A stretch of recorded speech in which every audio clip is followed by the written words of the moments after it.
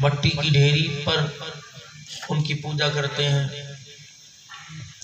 अल्लाह को मान रहे हैं, उन लोगों में शामिल हो रहे हैं, जो ईसा सलाम की सूली को, उसकी पूजा करते हैं। अल्लाह की मानने वाले कौन हैं? जो हज़रत मोहम्मद मुस्तफ़ा सल्लल्लाहु अलैहि वसल्लम की ख़त्म नबूवत पर ईमान लाए और हुजूर सलाम के काम को मकसद बना के काम कर रहे हैं। काफिर को मान रहे अगर मक्के के मुशरकों की हुजूर बात मान लेते, ना लुहानू ना पड़ता, ना ताइफ की गलियों में पड़ता। वो कहते अल्लाह को तो मानते तो हमारे मान सारे देवी देवताओं को मानने वाले कह रहे सामने खुदा, उनका पड़ा उनका बातिल खुदा, ध्यान ऊपर हो रहा है। अल्लाह को तो सारे मान रहे हम भी मान रहे अल्लाह को अल्लाह की कोई नहीं मान रहा। अल्लाह की क्या कि मेरे नबी के तरीकों को ज़िंदगी के अंदर ले आओ। इसके लिए इंशाल्लाह, सारे, इंशाल्लाह जी, इंशाल्लाह इंशाल्लाह। आए मक्के के लोग, और आगे कहा जी, आप ऐसा करो, एक दिन आप हमारा हिस्सा ले लिया करो, एक दिन आपका ले ले करें बैतुल्ला में नमाजें पढ़ो, पीछे नमाजें पढ़ेंगे, एक दिन आप हमारे पीछे आ जाए करो। आप भी हमारे गुरु घंटानों के आके टल्ले खड़का दो, हमारे झगड़े खत्म हो गए। हजूर की खामोश हो। उन्होंने कहा अच्छा चलो, दिन की बात नहीं, हफ़्ता ले, हफ़्ता, हम आया करेंगे एक दिन आप। उन्होंने कहा, फिर ये भी नहीं मानते महीना हम नमाजें पढ़ा पढ़ेंगे, एक दिन आप आ जाएगा फिर साल पर बात आ गई कि एक साल तक तेरे रब की इबादत करेंगे तो एक दिन आके हमारे रब की इबादत कर जाए। फिर जब इस बात का भी इनकार हुआ तो फिर उसके बाद आखिरी उन्होंने फैसला किया और ये कह के चले गए अच्छा बस हम जो आप कहोगे वो मानना करेंगे। आप हमारे बुत बाड़े में दाखिल हो जाएँगे और बस आके चला जाएगा हुजूर खामोश। खुदा का कुरान आया कुलिया काफिरून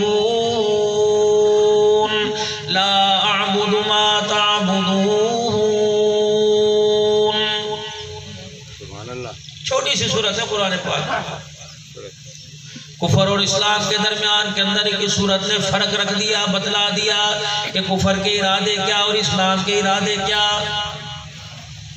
आखिरी आयत में फरमाया, लकुम दीनुकुम वलियदीन जब कुरान पाक ने कह दिया, तुम्हारा दीन और है, हमारा दीन और है। तो रब्बे काबा की कसम है, किसी के त्यौहार पर जाकर उसके गुरुद्वारे में तुझे केक काटने की इजाज़त नहीं। फरमाया तीन जगहों पे जाने से मोहम्मद अरबी सल्लल्लाहु अलैहि वसल्लम की शरीयत ने मना कर दिया। फरमाया, पहली ये, जहाँ खुदा की तौहीद में दरारें पड़ती हो, अल्लाह जल्ला शानू के साथ किसी को शरीक कराया हो, बेशक तो कितना बड़ा अमन का पैगाम लाने वाला, बेशक तो दुनिया के अंदर अमन अम्मा के कितने फैसले करने वाला। खबरदार खबरदार, तुझे तेरे ईमान की गैरत ऐसे इदारों में, गुरुद्वारे में जाने की इजाज़त नहीं देती। बेशक तू झूठी गांटने वाला क्यों ना हो? या हुक्मरान क्यों ना हो? मैं अमन का दाई मक्के का दुर्र यतीम अमन का दाई है। तेरे दौर के अंदर अमन को फैलाने के लिए बरूद का इस्तेमाल करना पड़ा। तेरे दौर के अंदर अमन का पैगाम देने के लिए गोलियों की बुछाड़ को करना पड़ा। तेरे दौर में अमन का पैगाम देने के लिए लोगों को हथकड़ियाँ लगानी पड़ी। अमन दुनिया के अंदर कायम करने के लिए गाजर मूली की तरह लोगों को काटना पड़ा। एक तेरा अमन है, इतने करने के बावजूद अमन में नहीं आया। दुनिया के अंदर अमन नहीं आया। एक वो अमन था कि तेरह साल मक्की दौर में पिट के दिखाया रो के दिखाया। दस साल मक्की मदनी दौर के अंदर फिर पैगाम अमन लोगों को सुनाया। काबा की कसम है, जो दुनिया के अंदर बदमनी के पेशवा बने फिरते थे, दुनिया के अंदर बदमनी फैलाने वाले सरदार बना फिरा करते थे। तेईस साल दौर में ऐसी मेहनत करके दिखाई, ऐसा कुंदन बना के दिखाया। चौदह सौ साल के बाद उनके हालात को पढ़कर कहने वाले ने कह दिया, खुद नाचे जो राह पर औरों के हाथी बन गए। क्या नज़र थी जिसने मुर्दों को मसीहा कर दिया? मैं तो अमन उस वक्त मानूँगा। मैं तो तुझे दाई अमन उस वक्त मानूँगा। दाई इतिहाद उम्मत उस वक्त मानूँगा। जब ना तीर चले, ना तलवार चले, मक्खी भी ना मरे, मच्छर भी ना मरे, और पूरी दुनिया के अंदर अमन फैल जाए, इसके लिए मेरे अजीज़ों हुकूमतों का सहारा नहीं लेना पड़ेगा। इसके लिए मेरे अजीज़ों माल की ज़रूरत कोई नहीं। इसके लिए मेरे अजीज़ों औलाद की ज़रूरत कोई नहीं। धन दौलत कुनबे बरादरी, इकतदार की ज़रूरत नहीं। इसके लिए ज़रूरत है जनाब मोहम्मद रसूलुल्लाह। जब नबी वाली बात को अपनाएँगे, उम्मत में फैलाएँगे, पूरी धरती के अंदर अल्लाह अमन को उतार देगा। कितनी मसाजिद है आपके इलाके में, शहजादपुर के गयूर मुसलमानों, ये बात मैं आपको बतलाने के लिए आया। मुझे वहाँ से आना पड़ा, अल्लाह ने मुझे भेज दिया ताकि मेरा हिस्सा भी दुनिया के वन फैलाने वालों के अंदर शामिल हो जाए। अमन मेरे अजीजों अमरीका की पॉलिसी में नहीं मिलेगा, मेरे अजीजों इंग्लैंड की रोशन ख्याली में नहीं मिलेगा, सारी दुनिया के अंदर पैसा बांटने से नहीं मिलेगा, सारी दुनिया के अंदर औरतें बांटने से नहीं मिलेगा। रब्बे काबा की कसम है, और मैं जिंदों की बात नहीं करता, मुर्दों की बात करता हूँ। जाओ जाओ, आज शाम को या जब तुम्हें वक्त मिले, तुम कब्रिस्तान चले जाना। रहो आगे साहब, आप भी अम्मा की कब्र पे चले जाइयो, अब्बा की कब्र पे चले जाना। मैं अपने उस्तादों की कब्र पे जाऊँगा। तुम भी अपने मसाई की कब्र पे चले जाना, जो तुम्हें दुनिया के अंदर सबसे ज़्यादा अज़ीज़ था, उसकी कब्र पे जा चले जाना। और जाके कहना, एक फकीर सा आया था, अजीब सी बात करके चला गया। वो लोगों, वो कह के चला गया सिंधो मुर्दों से ना पूछो, मुर्दों से जाके पूछो, खबर के अंदर तुम्हारे क्या काम आया? दुनिया का मकान काम आया का नहीं नहीं। दौलत धन काम आई का नहीं नहीं। इख्तियार काम आया नहीं, औलाद काम आई, बीवी बच्चे काम आए उसनो जमाल काम आए ज़मीन काम आई, मकान काम आया, सदारत की कुर्सी काम आई। अल्लाह अकबर, हमने भी तुम्हारी तरह जमा जोड़ी करना शुरू कर दिया। तुम मकान बना के गए, हमने दो बनाए। तुम दुकान बना के गए, हमने मार्केट ईट बनाई। तुम साइकिल लेके दे के गए, हमने पूरा डोले के दरवाजे पे खड़ी कर दी। हम समझे कि जिस तरह तुम कमा के गए, हम भी कमाएँगे, यहाँ भी काम आएगा, वहाँ काम आएगा। अब्बा ने चीख के कहा, अम्मा जान, चिल्लाना शुरू। अम्मा ने चिल्लाना शुरू कर दिया। उस्ताद ने भी रोना शुरू कर दिया। पीर फकीर ने भी रोना शुरू कर दिया। का जा जाके धोखेबाज दुनिया से कह दे। धोखेबाज दुनिया में रहने वालों से कह दे। ये समझ के आए थे, पैसा काम आएगा। औलाद काम आएगी डॉलर पाउंड काम आएगा। लेकिन जिस तरह कबर के अंदर आके गिरे, फरिश्तों ने चेहरे से कफन हटाया और फरिश्ते ने यूँ करके देखा, उस वक्त एहसास हुआ कबर में पैसा काम नहीं आता, नबी का तरीका काम आता। जाओ मट्टी के ढेरी वालों से पूछो जाके। बड़े मकान वालों से नहीं, वो जिनके कच्चे मकान है, वो जिनकी छतें टपकती है बारिश में। फरमाया, जब दुनिया तुझे तंग करने लगे आहिस्ता आहिस्ता तेरे मन के अंदर समाने लगे। सुबह सुबह अब्बा जान के आगे बैठ गया और कह रहा, अब्बा, आज हाथ में खारिश हो रही है, लग रहा है पैसा आवेगा। हाँ हाँ भैया, मैंने रात ख्वाब देखा था, मेरे भाई की झोली पैसे से भरी पड़ी है। फरमाया, जब तुझे ख्वाब भी पैसे के आने लग जावे, कब्रिस्तान जाया कर। बोली साहब मैं दस रुपए के फूल, बीस रुपए के मखाने, बीस रुपए की अगरबत्ती लेके रोज़ाना अम्मी की कब्र पे जाता हूँ। मैंने कहा, ना, बेवकूफ़ा दिन के उजाले में ना जा, रात के अंधेरे में जा, जब मगरिब की अजान हो जाए तुझे कब्रिस्तान में जानवर भी नज़र ना आए। अंधेरे कब्रिस्तान में जाके खड़े हो जाया कर। अगर वहाँ भी तुझे मौत ना आए तो समझ लेना खतरे की तेरी घंटी बज चुकी ही। वहाँ भी तुझे अल्लाह रसूल याद ना आए। वहाँ भी तुझे मौत याद ना आए। तुझे आखरत वहाँ समझ ना आए। समझ लेना, पैसा तेरे दिल में आ गया। ईमान तेरे दिल से निकल चुका है।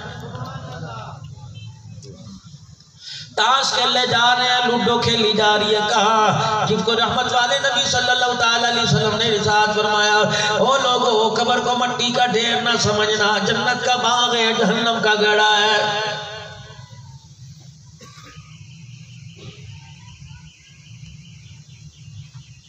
ज़िंदा रहने के लिए सारे तैयार हैं, मरने के लिए तैयार कोई नहीं।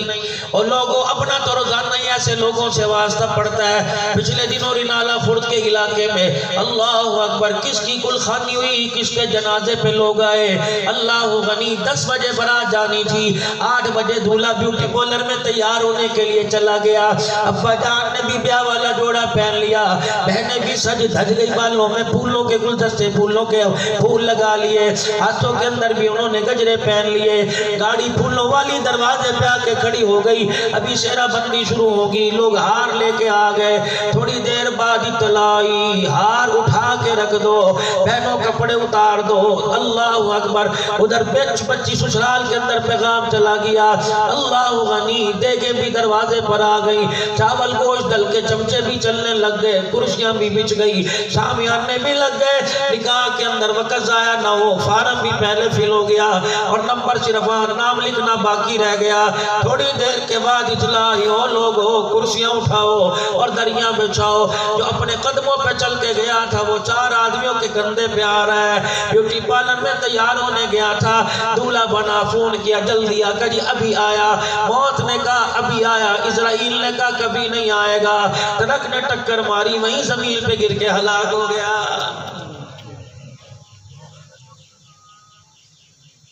शहजादपुर के गयूर मुसलमानों, खुदा की कसम, अगर इसराइल को वहाँ भी रहम नहीं आया तो कुर्सी पे बैठे कैसे राम आएगा? बीवी बच्चों में बैठे हुए कैसे रहम आएगा? इसराइल सलाम को वहाँ उस दुल्हन पे रहम नहीं आया, जो लाल जोड़ा पहनने से पहले बेवा हो गई। अगर उस औरत पे रहम नहीं आया तो तेरी मेरी धी पे जो पोलियो के कतरे पिला रही है, तेरी मेरी धी मेरे अजीजों जो टूल प्लाजे पे पर्चियाँ काट रही है, तेरी मेरी धी जो एयर होस्टिस बनी हुई है, गाड़ियों के अंदर चाय शरबत पिला रही है अगर इसराइल सलाम को ऐसी औरत पे रहम नहीं आया, ओ, वो औरत तो दूर की बात है। सैयदा आमना पर इसराइल को रहम नहीं आया। छह साल के पगोड़ा झूलने वाले मोहम्मद अरबी वसल्लम को देखता, देख भी रहा है। अल्लाह का मराया माँ बाप को लेकर चला गया तो तेरी मेरी बच्ची तेरे मेरे पे खुदा को और जिब्रा इसराइल को कैसे रहम आएगा? दुनिया बनाने के चक्कर में लगे हैं, माल बनाने के चक्कर में लगे हैं, मौत याद ही कोई नहीं।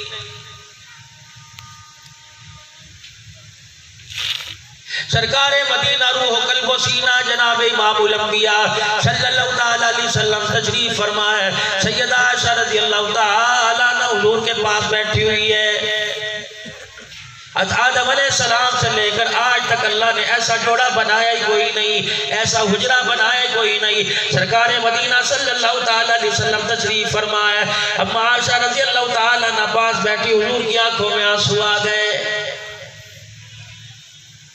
सोने माँ बाप कुर्बान हो, क्या बात है?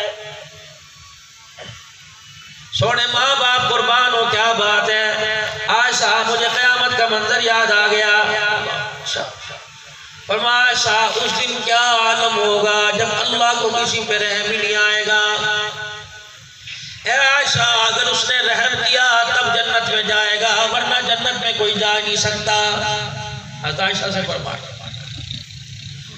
सैयदा आयशा रज़ी अल्लाह हुजूर की तरफ़ से उठी, सामने आके बैठ गई।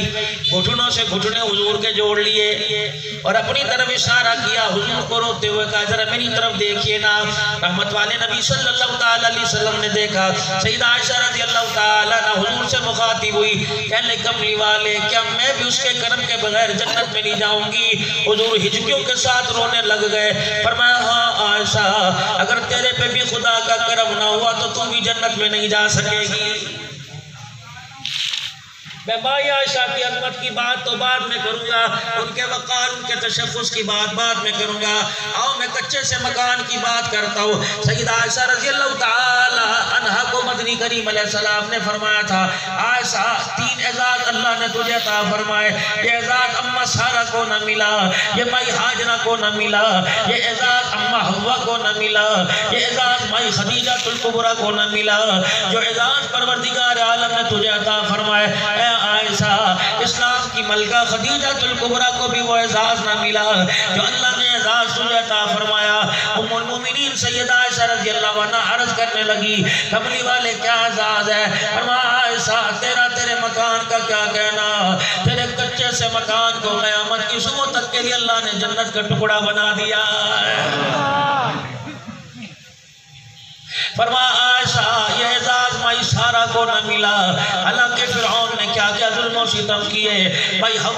सारा मिला। अल्लाह अकबर अब्बाकर इब्राहिम की घरवाली को एजाज न मिला। आसिया को एजाज एजाज न मिला। हज़रत इब्राहिम की घरवाली सारा हाजरा को एजाज न मिला। जो एजाज तुझे मिला पैदा ऐसी की नहीं जिसकी गोद में नबी ने सर रख के जान दी हो। आयशा, ये जात तुझे मिला। अल्लाह पाक ने तेरे घर पे फजल किया। हुजरे में तेरी गोद को आबाद कर दिया। गारे सोर में तेरे बाप की गोद को आबाद कर दिया। फरमाया आयशा, तीसरा एजाज अल्लाह ने तुझे और अता फरमाया। फरमाया आयशा तेरे हुजरे में मेरा मदफन बनेगा, मेरी खबर बनेगी। तेरा हुजरा इतना अजमत वाला हो जाएगा, हर कोई आएगा, अमीर आएगा, गरीब आएगा। हत्या के पाकिस्तान का करमरान आएगा, तेरे हुजरे पर आने के लिए पैर से जूतियाँ उतार देगा। जिब्राइल भी तेरे हुजरे पे आएगा, सत्तर हज़ार फरिश्ता भी तेरे हुजरे पे आएगा। आयशा, अल्लाह ने तेरे कच्चे से मकान को एजाज दिया। सत्तर हज़ार फरिश्ता सुबह और सत्तर हज़ार फरिश्ता शाम को तेरे हुजरे पे खुदा का सलाम लेके आएगा। अम्मा आयशा की तरफ़ देखा, माँ की आँखों में आँसू आ गए। और माँ आयशा, तुझे मैं एक और एजाज ना उम्मुल मोमिनीन सैयदा आयशा कहने लगी, कमली वाले क्या एजाज है? फरमाया, दुनिया खत्म हो जाएगी। ज़मीन ज़मीन वाले, ज़मीन ज़मीन पर रहने वाले खत्म हो जाएँगे। अल्लाह अकबर, पहाड़ों को तहस नहस कर दिया जाएगा। दरियाओं में आग लगा दी जाएगी। हर चीज़ खत्म कर दी जाएगी। ऐसा जिस जगह तेरा हुजरा मुबारक है, दुनिया खत्म होने के बाद लोग जन्नत ही जन्नत में चले जाएँगे। तेरे उस हुजरे वाली ज़मीन पर फिर भी सत्तर हज़ार फरिश्ता खुदा का सलाम लेके आता रहेगा।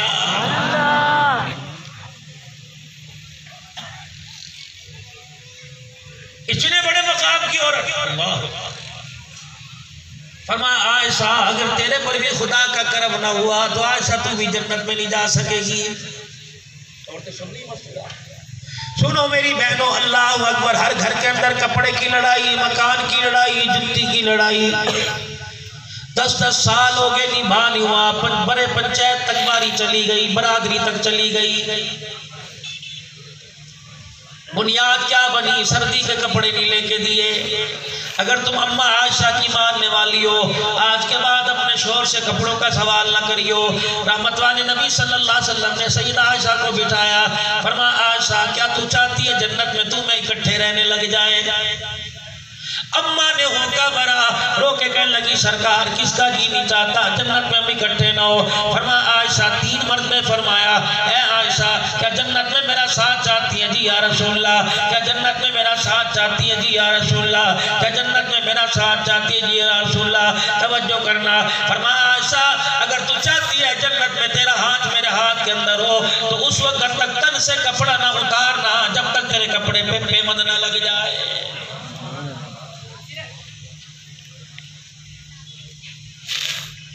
कभी कपड़े बनाने पे झगड़ा, कभी बच्चों की यूनिफॉर्म पे झगड़ा, कभी बच्चों की किताबों पे झगड़ा, कभी ट्यूशन फ़ीस पे झगड़ा।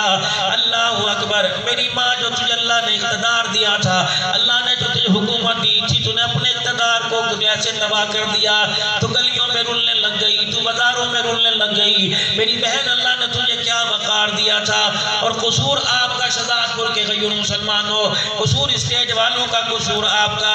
वली साहब, हमने तुझे बुलाया, तेरी कार का किराया देंगे। कल से तू हमारा मेहमान बना पड़ा है। हम तेरे लिए खाने पीने का लगते कपड़े का इंतज़ाम कर रहे हैं। फिर तू कह रहे कसूर हमारा क्या बात है? नींद ज़्यादा तो नहीं आ रही। मैंने कहा, ना मियाँ, ना। का थकन ज़्यादा तो नहीं हो गई। मैंने कहा ना मियाँ, कसूर आपका। का क्या? मैंने कहा, तुमने जो औरतों का काम था, अपने जिम्मे ले लिया। मर्दों का काम तुमने औरतों को दे दिया। मार्केट में तुम्हें औरत नज़र आवेगी। कपड़े की दुकान पे तुम्हें औरत नज़र आवेगी। बिजली के बिल पिलाने के लिए तुम्हें औरत नज़र आवेगी। पोलियो के कचरे पिलाने के लिए तुम्हें औरत नज़र आवेगी। कपड़े लत्ते बरते भांडन के लिए तुम्हें औरत नज़र आएगी। बच्चा जिस वक्त माँ की गोद का तलबगार था, उस वक्त अम्मी सारा दिन बाज़ार में धक्के खा आई, हाय मेरे सर में दर्द हो गया, कमरे से बाहर निकाल दो, जा बच्ची को कैसे उठा के बाहर ले जा, ये रोएगा मेरे सिर में दर्द होगा। बच्चा रो रो के माँ माँ करके पास आया तो थप्पड़ मार मार के भगा दिया। आज खुद बड़ी चरपाई के ऊपर रो रही है कहती, हाय मेरा बच्चा मेरे पास नहीं आता। कि नन्ना मुजाहिद कहता, अम्मा, जब मैं तेरे पैरों में आके पड़ा करता था, थप्पड़ मार के भगा दिया करती थी। दुनिया मकाफात अमल है। अम्मा, जब मैं रोया, तूने चुप ना कराया। आज तू रो रही है तो मैं तुझे कैसे चुप कराऊँगा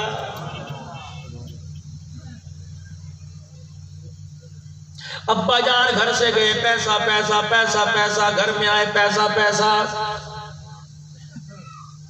पूरी ज़िंदगी में हुजूर सल्लल्लाहु अलैहि वसल्लम की साबित कर दो, कभी नबी घर में रोता हुआ आया हो, ताइफ की गलियाँ, गलियों के अंदर पत्थर खाए मुस्कुरा के घर आ रहे हैं।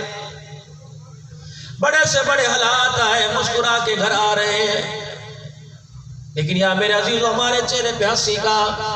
बड़ों ने फरमाया, बड़ों का सबक आगे पहुंचाओ। फरमाया, जब घर आया करो, बेशक जेब के अंदर टॉफियाँ डाल लाया करो।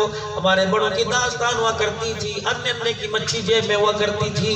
अल्लाह अकबर कब मिला करती थी। ले बिस्मिल्लाह सुनाइयो बिल्ला सुनाइयो। कलमा सुना दे, दरूद पढ़ के सुना दे। दादा टॉफी पकड़ा दिया करता था।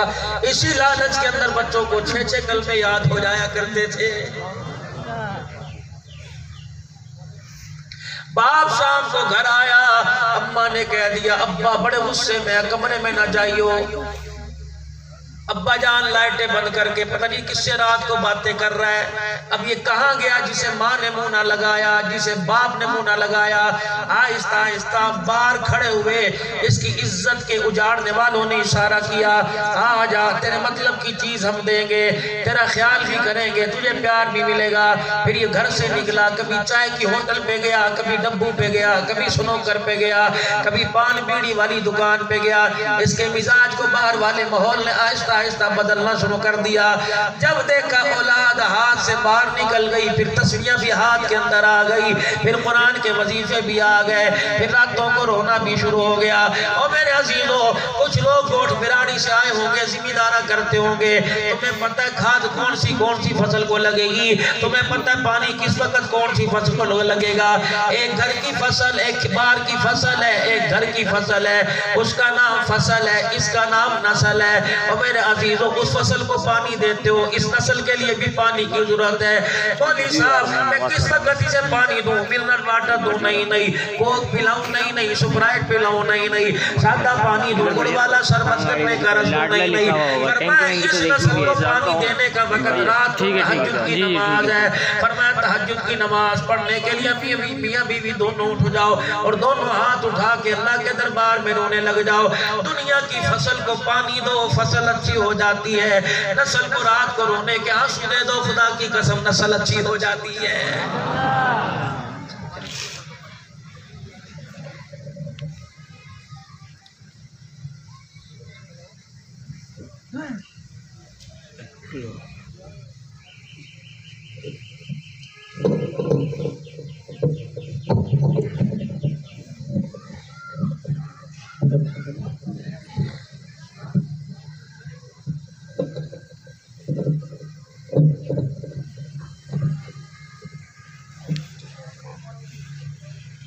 मैं जिस जगह भी जाता हूँ, सौंड वालों को पैगाम देता हूँ, नाराज़ हो तो मेरा क्या लेना देना? अल्लाह ने राज़ी रखे। इस वजह से नहीं कि सौंड वाला, कि तेरे सौंड में खराबी, अल्लाह की तरफ़ से खराबी ना है ये तो मकड़ी का जाला है, दुनिया है। बस हर सौंड वाले से पंजाब में, बलोचिस्तान में, सिंध में, हर जगह जाके अर्ज़ करता हूँ कि जिस सोन से अल्लाह के कुरान की आवाज़ आवे नबी के फरमान की आवाज़ आए उसे मल्ला खड़े में तुम इस्तेमाल ना करो, शादी के फंक्शनों में इस्तेमाल ना करो, उसे कबड्डी सर्कसों में, मौत के कुएँ में इस्तेमाल ना करो। कितनी बदनसीबी की बात है। तेरे घर के आगे से रहमत का दरिया बह के चला गया।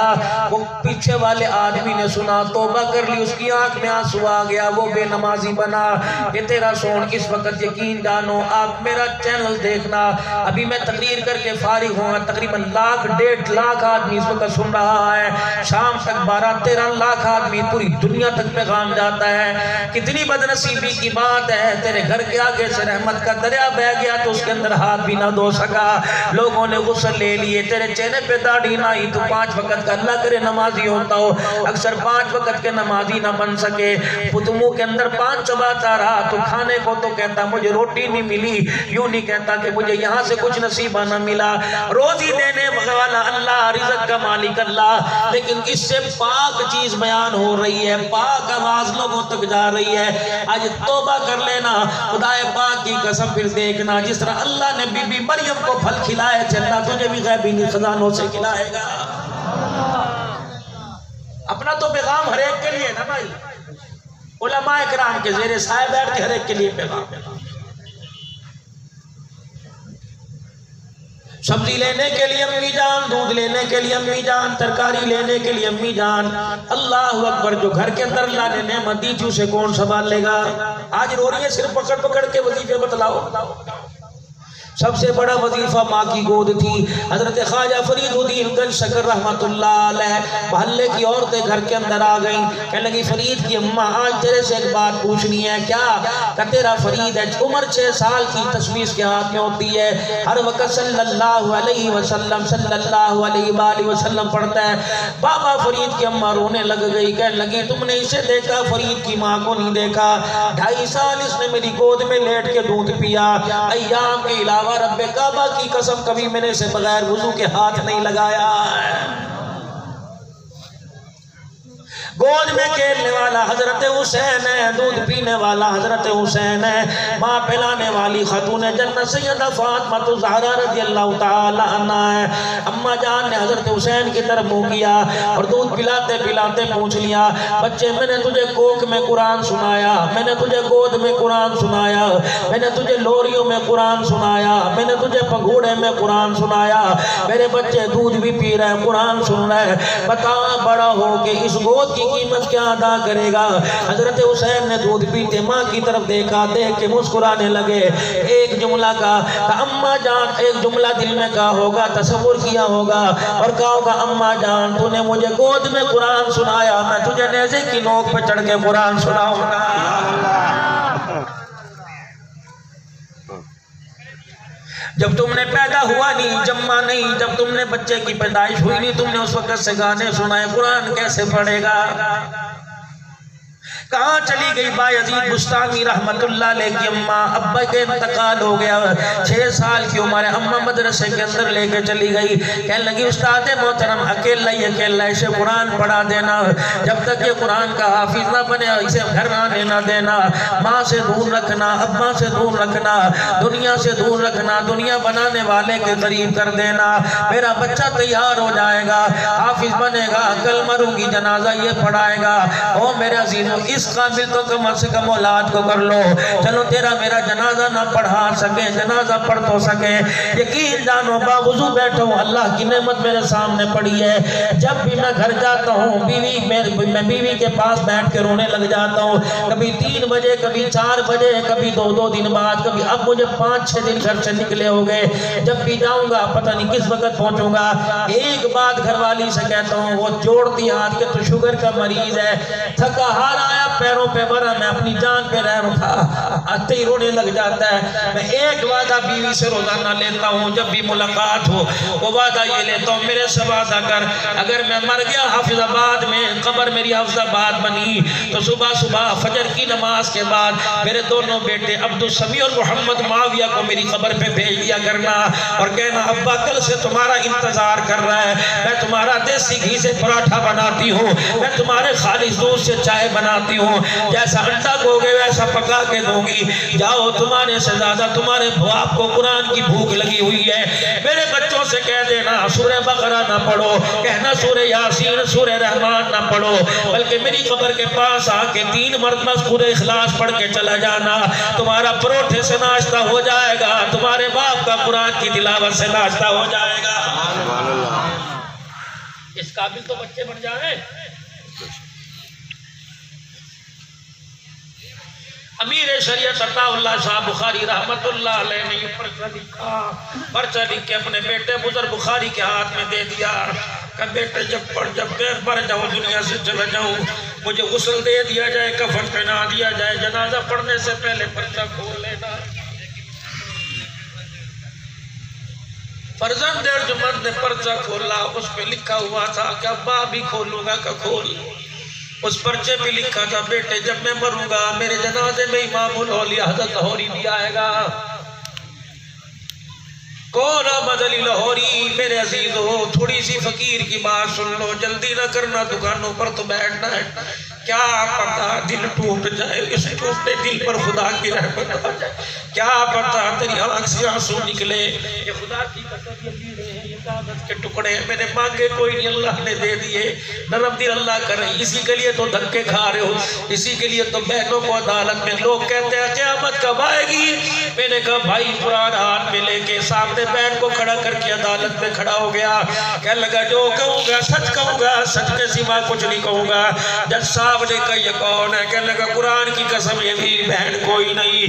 बहन उसी वक्त हाथ उठा लिए, या अल्लाह, जब मकान के टुकड़े की खातिर, भाई बहनों का इनकार कर दे। या अल्लाह, फिर दुनिया की साँसें खत्म कर दे। तेरी दुनिया में रहने का हमें कोई हक नहीं।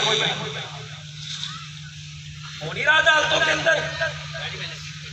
मैं कराची के अंदर मेरे अज़ीज़ एक प्रोग्राम में गया, जिस घर के अंदर बैठा हुआ था, रोने की, ठाड़ने की आवाज़ आई। मैं दूसरी मंजिल पे बैठा था, मैंने कहा, ओए, क्या हुआ? कहने लगे, मौली साहब, चार बहनें, एक भाई, पिछले साल बाप का इंतकाल हुआ। आज के दिन बाप का जनाजा उठा था। बहनें भाइयों के गले मिल के रोने के लिए आई। चल रोएँगे, भाई के चेहरे पे बाप का चेहरा नज़र आएगा। बड़ी बहन के मुँह पर भाई ने थप्पड़ मार के घर से बाहर निकाल दिया। दफ़ा हो जाओ। तुम्हारा बाप मर गया, मरने के बाद तुम्हारा इस घर से कोई ताल्लुक नहीं रहा। और ये तो सिर्फ़ कराची का एक घर नहीं, पता नहीं किस घर घर के अंदर ये मर्ज पड़ा हुआ है। और इस काबिल तो अपने बच्चों को कर जाओ, हमारे जनाजे पढ़ा सके। मौली साहब, जून, जुलाई का महीना हो, रमज़ान मुबारक के महीने में किसी का इंतकाल हो जाए, तीन बजे जनाजा हो, फिर देखो कैसे जान निकलती है। कहते अभी मरना था, जल्दी जल्दी पढ़ो जी, रोज़े लोगों ने रखे हुए हैं। मौली साहब कहेगा, या अल्लाह, मगफिरत फरमा दे अल्लाह वमयीतना अल्लाह, मगफिरत फरमा दे, मेरा नमाजी है। जब बेटा आपको नमाज़ जनाजा पढ़ाएगा, कहेगा, अल्लाह, मगफिरत फरमा दे, ये मेरा अब्बा है। अल्लाह, रोकर पानी का छीटा डालना मेरा काम है। बच्चे के रोने पर तरस खा के बाप पर रहमत का छीटा डाल देना तेरा काम है। अबू जर बुखारी रहमतुल्लाह ने जब यूँ करके पर्चा पढ़ा उस पर लिखा था, मेरे जनाजे में अहमद अली लाहौरी आएगा। कौन पैंतालीस साल चटाई पर बैठकर ईशा की नमाज़ के बाद कुरान की तफसीर बयान की। फरमाया, रावी पार से एक मजलूब आया, जिसके पैर में जूता नहीं था, जिसके पैर में जूती नहीं थी। आया लाहौरी का हाथ पकड़ा, मस्जिद के कोने में ले गया और मजलूबाना हालत के अंदर कहने लगा, लाहौरी सामने देख। हलोरी फरमाते, मैं कुरान की तफसीर कर रहा था, मैंने पढ़ते पढ़ते सामने देखा, का गुंबद खजरा है, सैयदा आयशा का हुजरा है। रोज़ा अनवर के अंदर मोहम्मद अरबी अलैहि वसल्लम बैठे, मुस्कुरा रहे हैं और मुझे देख के कह रहे हैं सद्दकता या अहमद सद्दकता या अहमद अहमद अली लाहौरी, जो कुरान की तफसीर तो सुना रहा है, रोज़ अनवर से मोहम्मद उस पर सदाकत की मोहरें लगा रहा। फरमाया, मेरे बेटे, मेरे जनाजे में अहमद अली लाहौरी भी आएगा, मेरे जनाजे में हज़रत हाले जी वाले बुज़ुर्ग भी आएँगे, मेरे जनाजे में अल्लाह अकबर एक लाख हदीसों का हाफिज अब्दुल्ला दरखास्ती भी आएगा। कौन था? अल्लाह अकबर, विक्टोरिया अस्पताल के अंदर शेख शेख हाफिजुल हदीस अब्दुल्ला दरखास्ती बिस्तर पे लेटे, डॉक्टर रोड पर आया, हज़रत की यूँ करके नबस चेक की, नबस चेक करके कहने लगा, लगता है बाबा जी की आखिरी साँसें हैं, लगता है बाबा जी का अब आखिरी आखिरी वक्त है, लगता है बाबा जी अब नहीं उठेंगे, बाबा जी कोमे में चले गए, अगर उठ भी गए तो बाबा जी की याददाश्त गुम हुए ख़त्म हो जाएगी। अल्लाह अकबर एक बेटा कहने लगा, डॉक्टर साहब मेरे बाप ने जो पढ़ा पढ़ाया का सब भूल जाएगा जब डॉक्टर ने कहा, सब भूल जाएगा। अब्दुल्ला दरखास्त ने यूँ करके आँखें खोली। डॉक्टर साहब की गलाई पकड़ी। फरमाया, तू किस वसूख से कहता है, मैं भूल जाऊँगा? अभी कुर्सी मंगवा, यहाँ बैठ जा। अल्लाह अकबर, बैठना तेरा काम है। लेटे लेटे, पूरी बुखारी जुबानी सुना देना मेरा काम कर ले कर ले आज आज आगे आए तो थोड़ी कुर्बानी करने आगे आए पीछे जगह कम हो गई। थोड़ा थोड़ा आगे देखिए साथी खड़े हुए बैठ जाए। आप सबके लिए जगह बना रहे, आगे आगे आए दो फ़ायदे होंगे। तुम आगे आओगे तुम्हें खिदमत करने में, आसानी होगी। दूर दूर बैठे देख रहे अकेले के बाद तुम अकेले खाओगे हमारे सब इसके।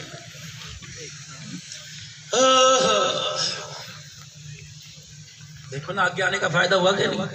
सबको होगा इंशाल्लाह। कल्बी भी होगा अमली भी होगा इंशाल्लाह ये फकीर को तो अल्लाह वैसे कामयाबी दे देता है। उलमाए कराम की दुआएँ साथ लग जाती कौन मेरे अजीजो? अब्दुल्ला दरखास्ती हाँ, अगर एक बात कह दूँ मजमा मखलूत है नाराज़ ना होना। मैं अपने काबिरीन का ज़िक्र ना करूँ मेरी तकरीर मुकम्मल नहीं होती।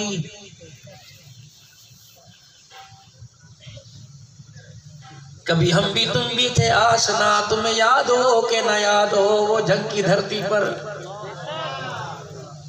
एक मर्द कलंदर माँ आयशा की इज़्ज़त का नारा लगाते लगाते शहीद हुआ था।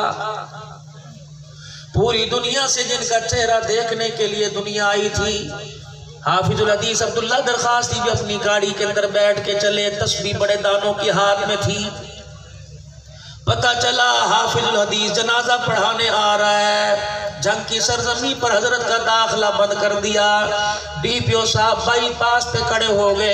हज़रत से कहने लगे, इज़्ज़त से कह रहा हूँ, वापिस चले जाओ, नहीं आना। का इज़्ज़त से कह रहा हूँ, रास्ता छोड़ दे, मैं खुद नहीं आया। मैं तो घर के अंदर बैठा था, बिस्तर पे लेटा था, मैं सो रहा था। मुझे ख्वाब में आमना के लाल की जारत हुई। पर मैं अब्दुल्ला, तू सो रहा है। मेरा बेटा शहीद हो गया, जा उसका जाके जनाजा पढ़। फिर तस्वीर को यूँ करके घुमाया। फरमाया, इसमें आज़म पढ़ रहा हूँ भूख मार दी गाड़ी समेत जला के भसम कर दूँगा। पीछे हट जा। जब मेरा जीजो अमीर अजीमत के जनाजे पे अब्दुल्ला दरखास्ती खड़े हुए। चरपाई का पाया पकड़ा पाही पकड़ी। आसमान की तरफ़ देखा, बारिश के कतरे ज़मीन पे बरसने लगे। पर मैं, ओ लोगो, मैंने आज आसमान को दूसरी मरतबा रोते देखा। पहली मरतबा आसमान अहमद अली के जनाजे पे रोया। दूसरी मरतबा आज आसमान हक नवाज़ शहीद के जनाजे पे रो रहा। फरमाया, मेरे जनाजे में अब्दुल्ला दरखास्ती भी आएगा, लेकिन मेरे बेटे, चेहरा देखने की इजाज़त देना, जनाजा पढ़ने, पढ़ाने की इजाज़त ना देना। अबू जर बुखारी कहते हैं, मैं बे बाप के पैर पकड़ के रोने लग गया। मैंने कहा, अब्बा, ना अब्दुल्ला दरखास्ती जनाजा पढ़ाए, ना हज़रत हाले जी वाला जनाजा पढ़ाए, ना अब्बा जहान अहमद अली लाहौरी जनाजा पढ़ाए, फिर पता तेरा जनाजा कौन पढ़ाएगा? मेरे बाप ने मेरी तरफ़ इशारा किया, मेरा माथा चूम के कहने लगा मेरे बेटे, मेरा जनाजा तू पढ़ाइयो। मैंने कहा कहा अब्दुल्ला दरखास्ती कहा हज़रत हाले जी वाले?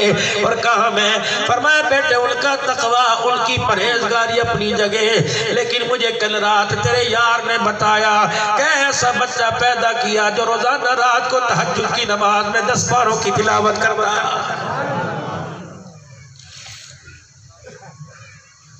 हाय हमारे मुकद्दर भेड़े, हम जनाजा तो दूर की बात है, हम तो ये उम्मीद भी रखते हैं कि बच्चा मरने के तीन दिन बाद खबर पे आएगा। दस मुहर्रमुल हराम को आएँगे, सिर्फ़ दस मुहर्रमुल हराम को आएँगे। वो भी मट्टी के दो तसले, बीस रुपए की अगरबत्तियाँ मसूर की दाल, गुलाब के फूल का हार और जला के चले जाएँगे। इस साल जरा दस मुहर्रम को जाना, ये सारे काम करके आना। अम्मी की कब्र पर, अब्बू की कब्र पर, बहन भाइयों की कब्र पर। जब ये सारे काम करके आओगे, तुम्हें पीछे से तुम्हारी माँ कुर्ते का दामन पकड़ के खींचेगी, कहेगी, बड़ा ही बेवकूफ़ है। मैंने तुझे दूध लाइक इसलिए पिलाया था? तो यहाँ भी बेवकूफ़ी कर जाए। अम्मा, क्या बात है? बेटा, जो तू काम करके गया, अल्लाह की कसम, हमें इसका एक जंती बराबर फ़ायदा ना पहुँचा। और मेरे बेटे, तू कब्र सजा के चला गया, कब्र का अंदर भी सजा के चला जाता। अम्मा, कब्र का अंदर क्या सजाता? फरमाया, बेटे, तू गुलाब ना डालता, मैं नाराज़ ना होती। तो अगरबत्तियाँ ना जलाता, मैं नाराज़ ना होती। बेटे, तू फूलों के हार ना डालता, मैं नाराज़ ना होती। मुझे तेरे से बड़ा गिला है, बीवी को शोहर से, शोहर को बीवी से, यार को यार से, उस्ताद को शागिर से, पीर को मुरीद से बड़ा गिला है। अल्लाह के वली में क्या करके जाता? पर मैं गुलाब के फूल ना डालता। मेरी कब्र पर आता, तीन मरतबा सूर्य इखलास पढ़ के चला जाता। कब्र का ऊपर सजदा ना सजदा, लेकिन कब्र के अंदर का मंजर ज़रूर दुल्हन के डेली डोली की तरह सज जाता। और सूर्य इखलास है क्या? अबू जर गिफारी हुजूर के पैरों में बैठे हुए जिब्राइल सलाम आ गए। उलमा कराम हुजूर को कहने लगे, जिब्राइल सलाम या ये तेरा अबू जर है ना? अब हाँ मेरा हुजूर सलाम मुस्कुराए, आपने फरमाया, तू कैसे बुजुर को जानता है? अब जिब्राइल कह रहे या रसूलल्लाह, इतना ज़मीन वाले से नहीं जानते जितने आसमान वाले जानते हैं। हुजूर ने फरमाया, किस वजह से? का जो कुरान करीम में सूर्य इखलास है, जब ये ज़मीन पे तिलावत करता है, अल्लाह इसकी तिलावत को आसमान वालों को सुनाता है। मुआविया बिन मुआविया लईसी रज़ी अल्लाह अनु का जनाजा तबूक के मैदान में आया। रहमत वाले नबी ने देखा, जनाजा उठाने वाला कोई नहीं। हवा में परिंदे की तरह जनाजा उड़ता आया। हुजूर सलाम के सामने लाके जनाजा रख दिया गया। आपने चेहरा देखा, मुस्कुराए। फिर आपने फरमाया, साहबा, नियत बांधो, जनाजा पढ़ो। नियत करो, जनाजा पढ़ो। साहबा इकराम ने जनाजा पढ़ा। फिर जनाजे की चरपाई हवा में उड़ते मदीने की तरफ़ चली गई। हुजूर देख के कह वाह वाह वाह वाह वाह वाह, रो भी रहे, कभी मुस्कुरा रहे। साहबा हुजूर के इर्द गिर्द हो गए कि, यार जुर्रत तो नहीं, आपसे से पूछे, लेकिन बताओ तो सही किसका जनाजा है? फरमाया, मेरे मुआविया बिन मुआविया लईसी का जनाजा। अल्लाह के पास सल्लल्लाहु अलैहि वसल्लम ये तो मदीने में छोड़ के आए थे। फरमाया हाँ हाँ हाँ मौत का वक्त आया। उसने अल्लाह के दरबार में सही गुजारिश किया अल्लाह, मेरा जनाजा काश कमली वाला पड़ा था। फरमाया, उसका इंतकाल हुआ, जनाजा उठाने वाला कोई नहीं, अल्लाह ने फरिश्तों को भेजा, जो उसका जनाजा उठा के तबूक के मैदान में लाए।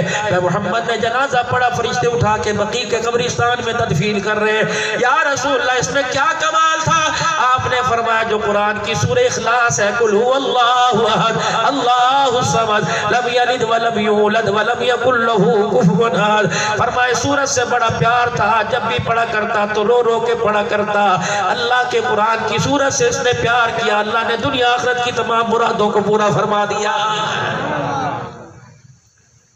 फरमाया, जो दस मर्द बसूर इखलास की तिलावत रोज़ाना बिस्मिल्लाह के साथ करेगा यकूत के मोतियों का अल्लाह जन्नत में रोज़ाना महल अता फरमाएगा तो कितनी देर लगती है?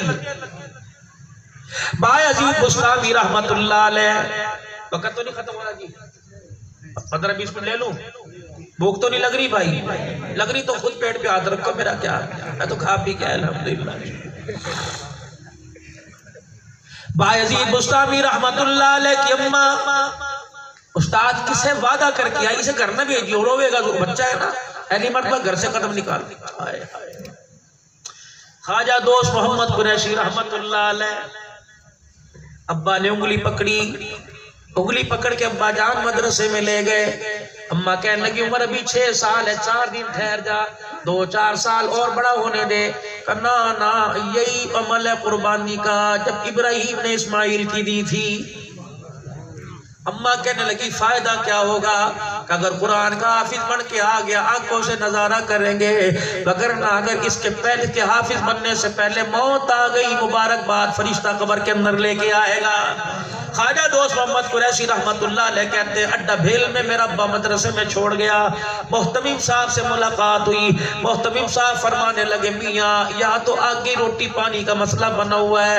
ऐसा कर, कहीं अपने करीबी इलाके में दाखिल करा ताकि घर से रोटी आ सके।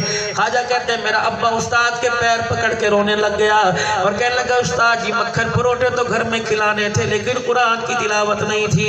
आप कुरान पढ़ाओ वफिस समा रिज़्कुकुम वमा तुअदून रिज़्क का वादा तो आसमान वाले ने कर रखा है। जहाँ रिज़्क जहाँ जाएगा पीछे रिज़्क जाएगा।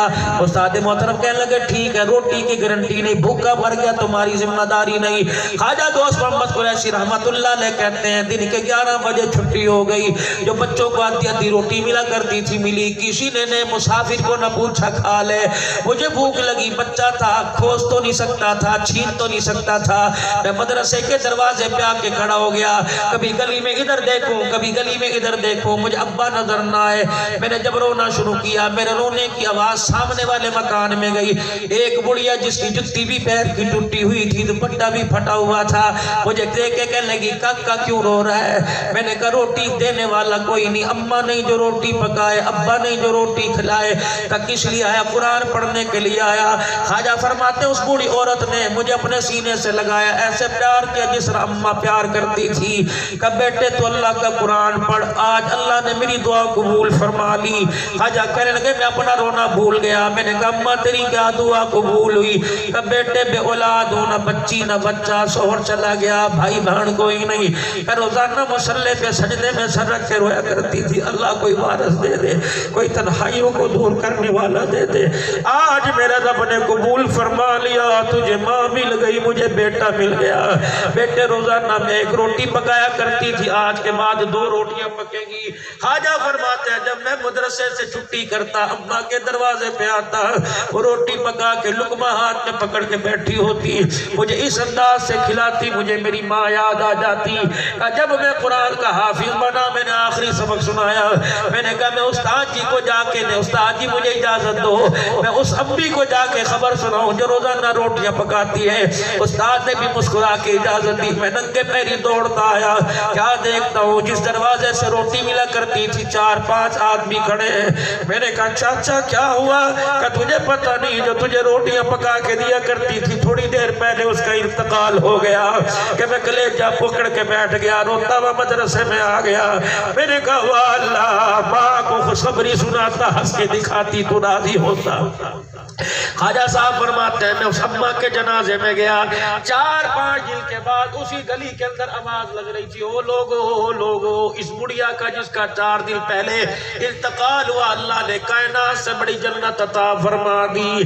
खाजा दोस्त मोहम्मद कुरैशी कहते मेरे कान में आवाज़ पड़ी, मैं मदरसे से दौड़ा, जाके मैंने बाबे का कुर्ता पकड़ा, मैंने कहा, खींच के कहा मैंने कहा, तुझे बता, तुझे किसने बताया?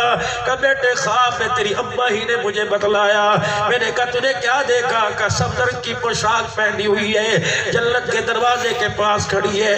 अल्लाह अकबर, मैंने पूछा, नमाज़ का भाई का अभी तो उसका हिसाब ही न हुआ।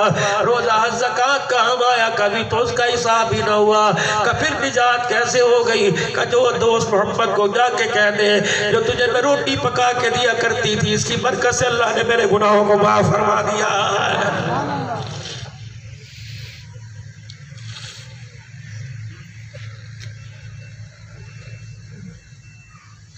भाई अजीब मुस्ताबी अलैह मेरे अजीजों, पहला दिन मदरसे में पढ़ा, उस्ताद जी से कहने लगे, अम्मी याद आ रही है।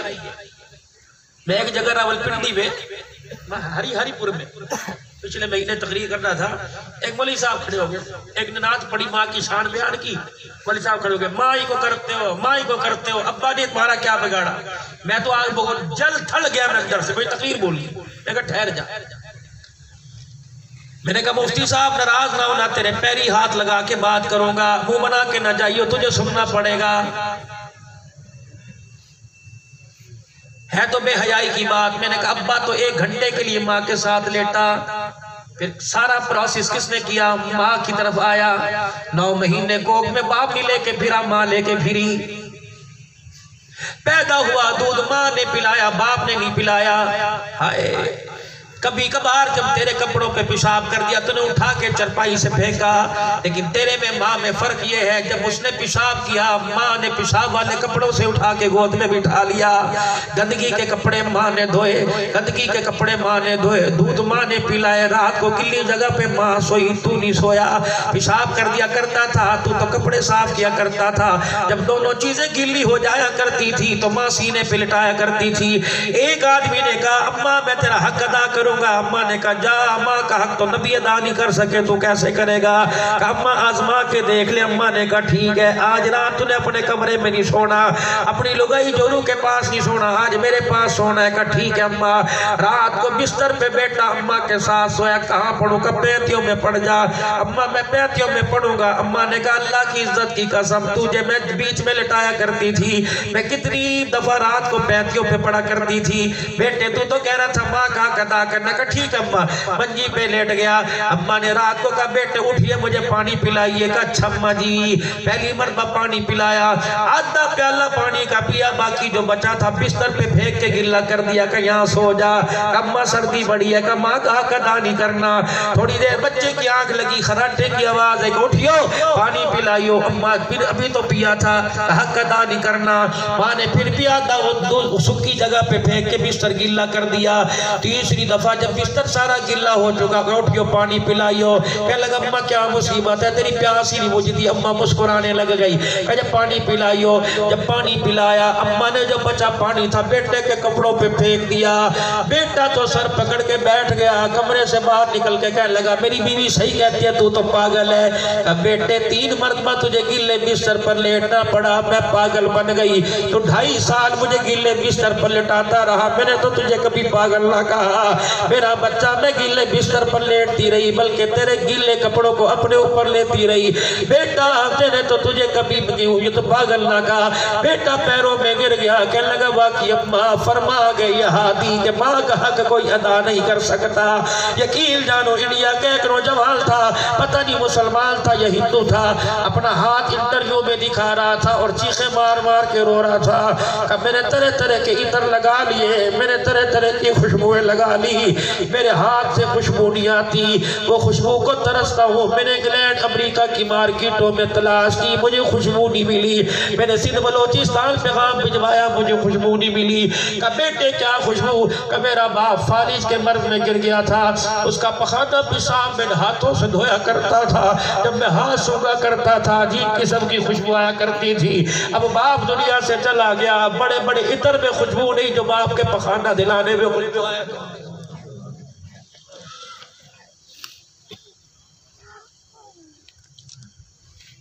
चंद बच्चों को पाला था एक माँ जतन से। चार बेटियाँ, एक बेटा, सारे छोटे छोटे। थोड़ी देर बाद खबर आई, अस्पताल में पड़ा। थोड़ी देर बाद खबर आई इंतकाल हो गया। तीन दिन भाइयों ने गम किया, दुकान खोल ली। चार दिन बहनों ने गम किया, रोते हुए ससुराल चली गई। अम्मा अब्बा गम भूल गए, एक औरत है, एक औरत है जो चार महीने, दस दिन तक कोने में बैठी रही। न चूड़ियाँ पहनी, न कोका, न ईद वाले दिन भी ने कपड़े नहीं पहने। मटरों की पलाव आगे ला के रख दी, यूँ करके पीछे कर दिया। तुम्हारा बाप बड़े शौक से खाया करता था।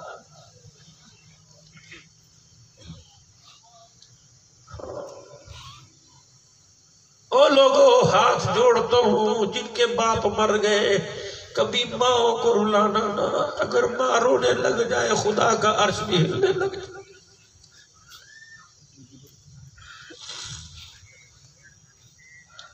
इससे बड़ी माँ की फजीलत क्या होगी? हुजूर ने फरमाया, माँ की आवाज़ पर मोहम्मद फरज की नियत तोड़ देता। जब तकसीम अल्लाह ने माँ में दादा काजी असाना मशूजाबादी रहमतुल्लाह उन्नीस सौ पचास में माँ को तवाफ कराते कराते अम्मा थक गई। काजी कहने लगे, मेरी माँ से चला ना गया। मेरी माँ बैठ गई, मैं माँ के गोडे दबाने लग गया। मैं अपनी माँ के नीचे मैंने रुमाल रखा, माँ लेट गई। मेरी माँ थकी थी, मैं पैर दबाने लगा काजी सांशु शुजाबादी फरमाते, पैर दबाता दबाता, मैं माँ की तलियों को पैरों को यूँ करके जोड़ा और माँ के पैरों को जोड़ के मेरी यूँ उठाया। एक नज़र माँ की तलियों पर, एक नज़र बैतुल्ला पर, एक नज़र माँ की तलियों पर। फिर मेरे बैतुल्ला की तरफ़ मुँह करके कहा है बैतुल्ला के मालिक, तेरे नबी ने सही फरमाया, माँ के कदमों तले जन्नत है। या अल्लाह, अगर वो जन्नत आज मुझे दिखा दे, तेरा क्या जाएगा? माँ उठ के बैठ गई और मेरे सर पर यूँ करके हाथ मारा, कहने लगी, बेवकूफा, अकल की बात कर, भला ऐसे भी कभी हुआ का अल्लाह दिखाने चाहे तो दिखा सकता है? काजी कहते, मेरी माँ उठ के बैठ गई। काजी सानावत कहते, एक हाथ मेरे सर पर रखा एक हाथ फिजा में बुलंद किया। का वाले, इसकी बात का बुरा ना बनाना, लेकिन मैं सिफारशी बन जाऊँ तो अल्लाह दिखा देना। फिर रो के कहने लगी, अल्लाह इसकी दुआ को न देख अल्लाह, मेरे मुँह में दांत कोई नहीं, मेरे सर का कोई काला बाल नहीं। परवरदिगार आलम, हड्डियों का ढांचा हूँ या अल्लाह, आज माँ की ममता की लाज रख ले, तुझे इसकी माँ का वास्ता दिखा दे। अगर आज नज़ारा न मिला, बच्चों का भरोसा माँ से उठ जाएगा। काजी फरमाते मेरी माँ रोई आँसू यहाँ आया, सारा हरम जगमग जगमग करने लग गया।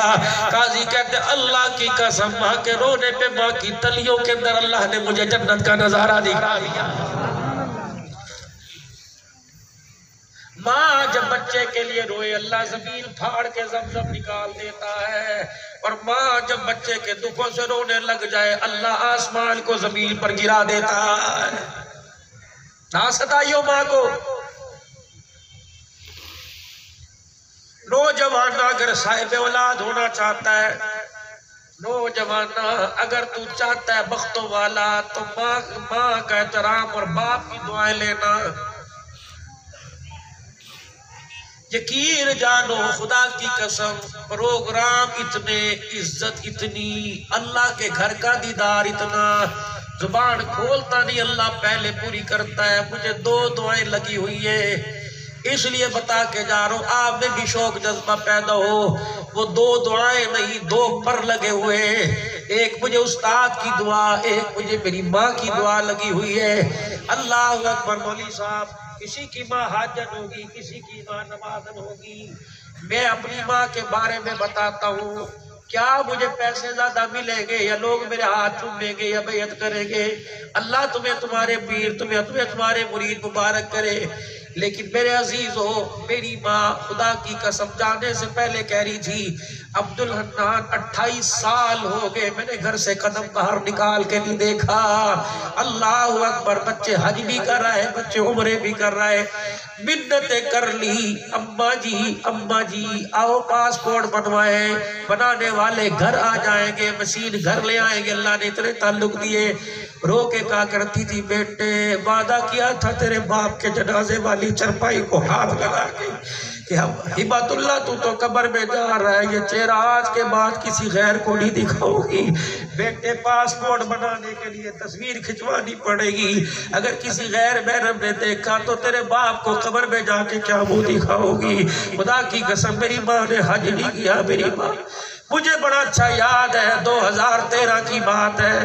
कह लगी, हाय बोबो मेरी खाला को कह रही थी, हाय बोबो जनाजे उठेंगे, भारी वजूद है। दुनिया देखेगी, कहेगी हिम्मतुल्लाह की बीवी जा रही आकिल अंदार की अल्लाह को ऐसा मंजर कर देना कि मेरा जनाजा ही नज़र ना आए। खुदा की कसम, सवा सात, साढ़े सात, सर्दी के मौसम में जनवरी में जनाजा उठा। जिस तरह जनाजा कंधे पे उठाया, बिजली चली गई कब्र में उतार के मट्टी डाली, बिजली आ गई।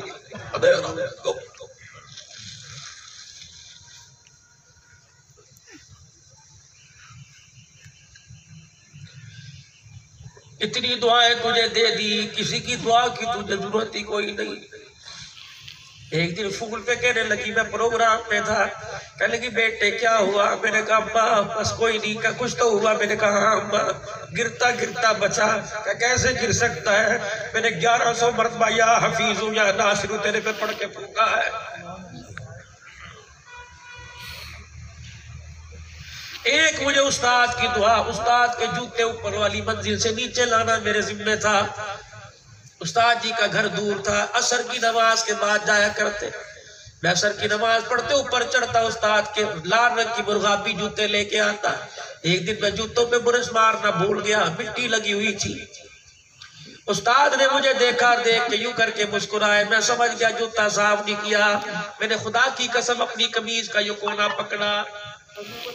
लगा के उस्ताद के जूते में फेरना शुरू कर दी।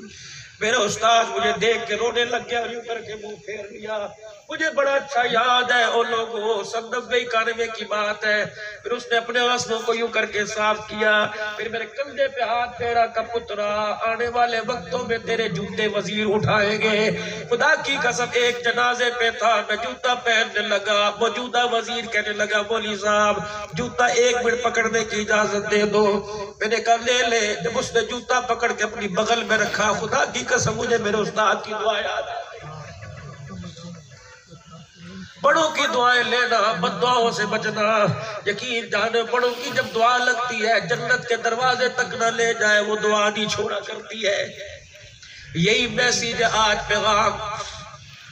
बस दो बातें मेरे अजीजों एक बाय अज़ीज़ मुस्तामी का, और दूसरा, चंद बच्चों को पाला था एक माँ ने जतन से। भाई अज़ीज़ मुस्ताबी रहमतुल्लाह ले, ग्यारह बज गए, छुट्टी होने लगी का, घर जाना है, घर जाना है। अम्मा कहने अब उस्ताद कहने लगे, नहीं नहीं, कल चला जाइयो, कल नहीं परसों चला जाइयो, परसों नहीं, तरसों चला जाइयो। एक दिन उस्ताद को पता लगा अज़ीज़ बिस्तर से उठा ही कोई नहीं, का क्या हुआ? बिस्तर से उठा का अम्मा को सारी रात याद करके रोता रहा। अम्मा, उस्ताद ने कहा, बेटे जा सबक सुना, वादा कर, रात घर नहीं रहेगा। अज़ीज़ मुस्तामी रहमतुल्लाह अलैह सबक सुना के दौड़े दौड़े घर गए। जाके घर का दरवाज़ा बजाया, अम्मा लोटे में पानी लेके वज़ू कर रही थी। भाई अज़ीज़ मुस्तामी रहमतुल्लाह ने दरवाज़ा बजाया। अम्मा ने कहा कौन? का तेरा बेटा बायजीद आया। माँ के हाथ से लोटा छूट गया। कहने लगी, नहीं नहीं, मेरा बेटा नहीं हो सकता। क्या मेरे दूध में, पिलाने में कोई कमी आ गई? मैं तो वादा उस्ताद से करके आई थी, कुरान का हाफिज ना बने, घर ना भेजना। कैसे आ गया? अल्लाह दूर से लोटा गिरा पड़ा, आधा वज़ू किया आधा रह गया। कहने लगी बायजीद मैंने तो अल्लाह से वादा किया था, जब तक तो हाफिज नहीं बनेगा मैं तेरा चेहरा नहीं देखूँगी। छह साल के नन्हे मुजाहिद के यहाँ बात लगी। अम्मा इंतज़ार करती रही, दरवाज़ा बजाई कोई नहीं। माँ ने कहा है बच्चा है, धूप है, पैर न जल रहे हो। अम्मा ने दरवाज़ा खोला, कहा, चलो रोटी पका के, खिला के, प्यार से वापस भेज दूँगी। माँ ने एक कबाड़ खोला, दूसरा खोला, देखा पूरी गली में बायजीद नज़र न आया। अम्मा ने आवाज़ दी बायजीद बायजीद गली के कोने से यूँ झाँक के देखा रो रहा है। फिर चुप गया, फिर अम्मा ने कहा, आ गया तो सीने से लग जा, आंसुओं को साफ़ करके कहने लगा, हाफिज बनूँगा तब सीने से लगूँगा, वरना कयामत के दिन लगूँगा। अल्लाह अकबर, जब ये मेरे अज़ीज़ ख्वाहिशात, कुर्बान हुई चोट लगी, उधर अम्मा भी कबूल, उधर बायजीद भी कबूल हो गया। जब बायजीद मुस्ताबी अलैह हाफिज बन के आए अम्मा ने अपनी मंजी अपने साथ लगा ली। बेटे की। रात का जब वक़्त हुआ माँ ने कहा बेटे पानी पिलाइयो बायजीद उठे। मटके से पानी भरा प्याला लेके अम्मा के करीब आए। जब पानी के लिए आवाज़ देने लगे, माँ के खराटों की आवाज़ आई। बायजीद मुस्ताबी रहमतुल्लाह ले प्याला लेके खड़े होके कहने लगे, मैं आसमान की तरफ़ देख के सोने लग गया। या अल्लाह, पानी पिलाऊं, या अम्मा को जगाऊं? अल्लाह, पानी पिलाऊं, अम्मा को उठाऊं, प्यास बुझ जाएगी। अम्मा को जगाऊं, पता नहीं नींद में गहरी सो रही है। कभी जन्नत के गोजे को पानी से मरूम न कर दिया जाए। मैं प्याला लेके सारी रात माँ के सराने खड़ा रहा। जब तहज्जुद का वक्त हुआ, माँ उठी, मेरी तरफ़ देखा, मुस्कुराई। कहा, बेटे, क्या कहा अम्मा तूने पानी मांगा था, कब पिलाया, क्यों नहीं? अम्मा इसलिए तुझे नहीं उठाया। अगर तू उठ गई, अल्लाह मेरी किस्मत ना सो जाए। बेटे, कब से खड़ा जब से तूने पानी मांगा? माँ की चीख निकली बायजीद का हाथ पकड़ा। कहने लगे, अब ये पानी ना पिला, इसी पानी से मुझे वज़ू करा वज़ू कराया। अल्लाह अकबर, मुसल्ला बिछाया, बायजीद को पास बिठा लिया। फिर तो गाना नफल अदा किया, हाथ उठा के कहा, या अल्लाह, ये सारी रात पानी का प्याला लेके खड़ा रहा। अल्लाह इसने माँ को ना जगाया। या अल्लाह, जिसने माँ को ना जगाया, उसके नसीबे जगा दे। भाई अज़ीज़ कहते हैं, माँ, के आँसू आ भी रहे थे रो रो के खुदा को सुना रही थी। का खुदा की कसम, उसी कमरे में आवाज़ आई बायजीर तूने माँ के मकाम को ऊँचा कर दिया, हमने कयामत की सुबह तक तेरे शान को ऊँचा कर दिया। मावा, ठंडिया छावा, ये मोटरसाइकिल की बत्तियों पे ना लिखो, गाड़ियों पे ना लिखो, ये यहाँ लिखो, मावा, ठंडिया छावा। मरने के बाद ठंडी छाया आई, जब कमरे में पड़ी इशारे करके कहती थी, हमारे पास भी बैठ जाया कर। उस वक्त ठंडी छा कहाँ थी? उस वक्त ठंडी छा कहाँ थी? जब झिड़क के चला गया था, अम्मा, तेरी दवाइयाँ पूरी नहीं होती। बच्चों को पालू के तेरी दवाइयाँ लेके हो जिस दिन तूने माँ को झिड़का, उस दिन उसने आखिरी मरतबा हंसा था। अल्लाह अकबर, बाप मरा माँ इद्दत में बैठी। घर के अंदर झगड़ा शुरू हो गया, घर के अंदर झगड़ा शुरू हो गया। कोई कह रहा, अब्बू जी, दुकान मुझे दे गए थे अब्बू मकान मुझे दे गए थे, कारखाना मुझे दे गए थे। माँ की दाढ़ निकली कूक मार के कह लगी, शर्म नहीं आती।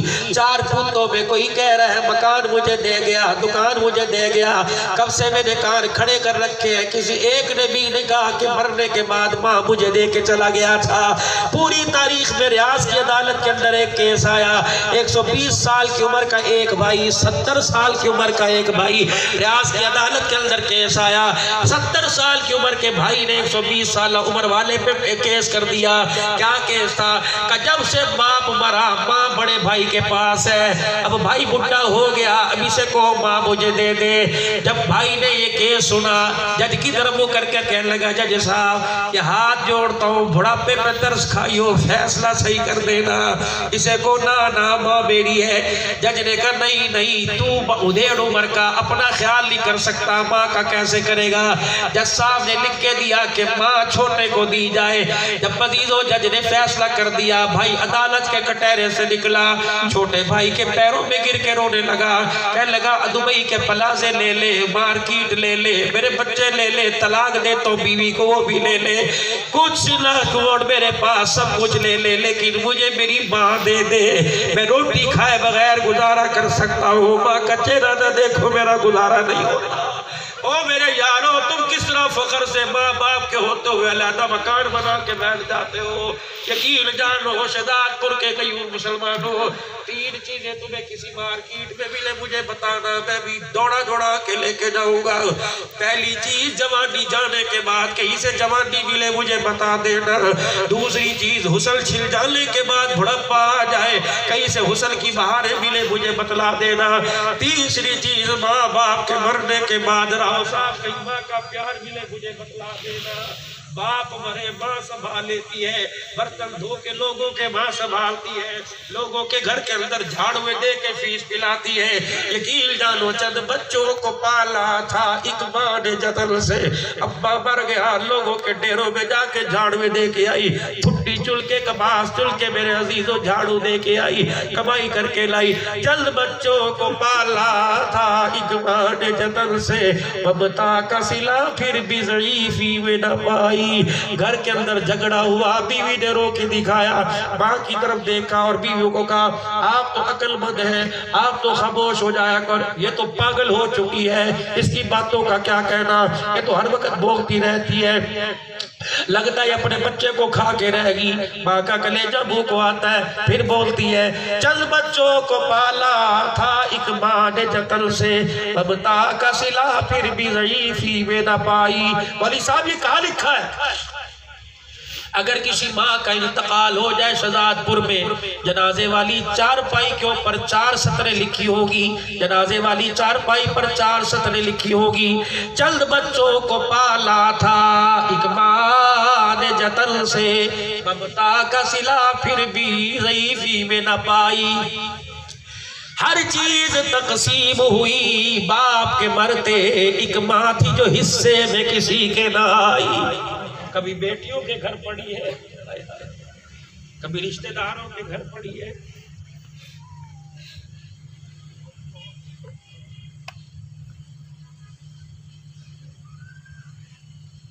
माँ क्या है? माँ बीमार हो गई, बेटे को का दवाई ला दे, कब पैसे, कोई नहीं। अस्पताल में चली गई, डॉक्टर को बुलाया, मेरी माँ सुन ले। कान में कहने लगी, हल्की सी दवाई लिख के देना मेरे बच्चे के पास, पैसे कोई।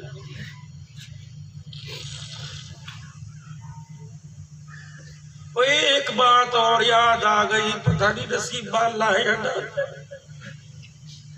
मालिक बिल दीनार रहमतुल्लाह अलैह, बैतुल्लाह के सामने बैठा।